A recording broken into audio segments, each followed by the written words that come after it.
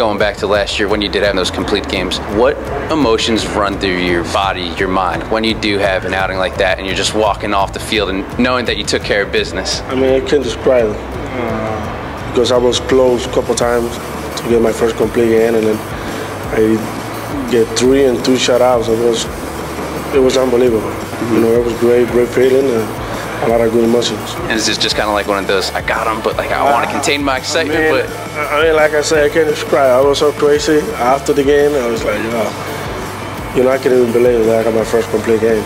Many more to come this year. Yeah, of course.